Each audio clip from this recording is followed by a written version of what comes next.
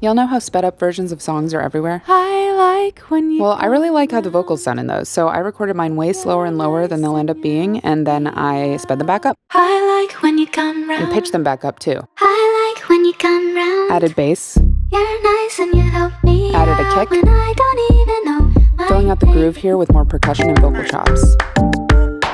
You make all the talking. This instrument kind of simulates a choir, and I'm putting a sound reshaper on it. I'm automating parameters and ended up with this. I like when you come around.